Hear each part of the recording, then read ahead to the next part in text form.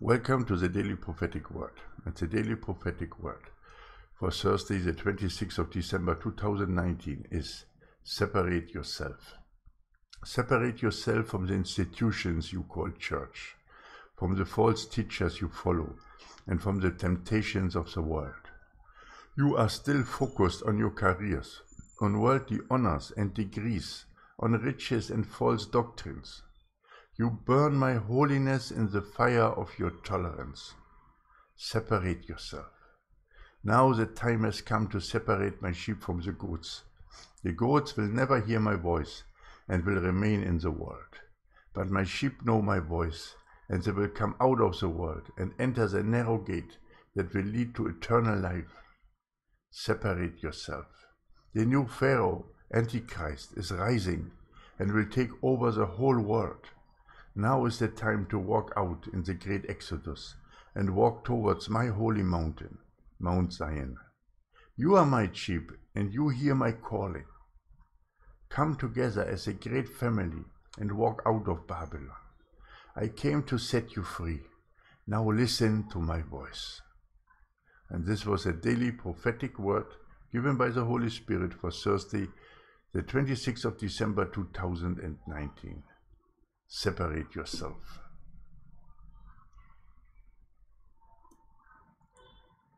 We are in a similar situation than the first church was. The first church was facing persecution from Nero and the Romans. And now we are going into a time where we will face persecution from Antichrist and the false prophet. So, what has the first church done to avoid this? They made home churches. They separated themselves as much as possible from the system of the old days. And they came together in love, unity, and support, and they shared their resources. They sold excess and laid it at the apostles' feet, so that everybody who had need could receive something that nobody had luck, and they had all in common and everything in one accord. This is required if you want to survive now the onslaught of the Antichrist and the false prophet.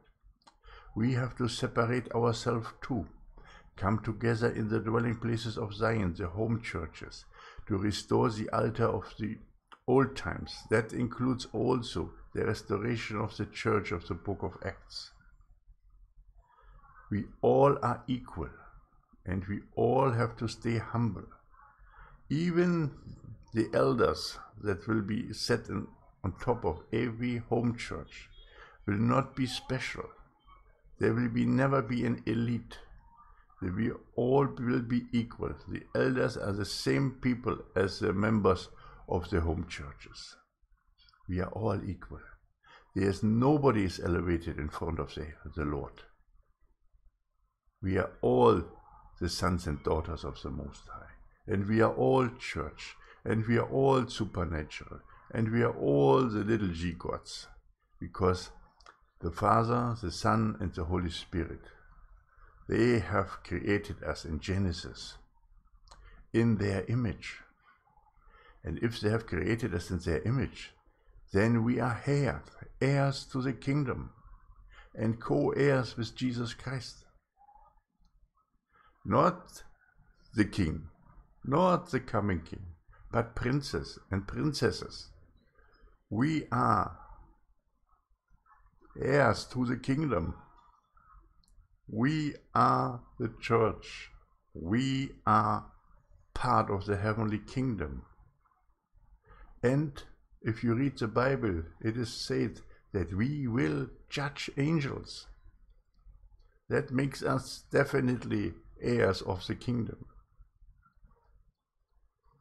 Now, people understand that you cannot survive and cannot do what you have done before in your old ways when the Antichrist is here. And he is already here. He is here. He is already planning his move and walking forward. We are in the seal tribulation now. This is your last call to get your back and come out of the world and out of Babylon. Your last call to separate yourself. Because as soon as the Antichrist will catch you and will get you in his hand because of your career, or because of your houses, or your mortgages, or your insurances, or your cars licenses that you have to pay, or anything you want to buy or sell, then he will ask you to take his mark. And if you do not take his mark, you will be killed. So it's time now to separate ourselves and to decide, like the people did on Mount Carmel with, with Elijah, to decide now to stand with the Lord completely and to separate ourselves from the world and from Babylon.